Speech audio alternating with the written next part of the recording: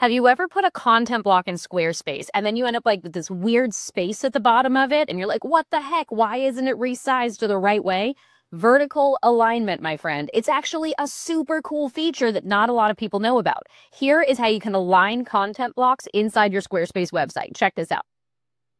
Here's my favorite example. We're going to add an accordion block. And if I stretch this accordion block out, I've got all this space at the bottom, and that's super weird. Now, if I click this edit option and I give my accordion block a background, we're still going to see a huge space at the bottom. That is not what I want it to look like. I need to change the alignment. If I click on this option right here, I can set the vertical alignment for that content block. But here's the secret. We did that for desktop, but not mobile. Let's take a look at the mobile view. And here, if we make the accordion block gigantic, we also need to set the vertical alignment here as well. So again, you want vertical alignment, top, center, or bottom, and make sure you do desktop and mobile separately so it looks good on all devices.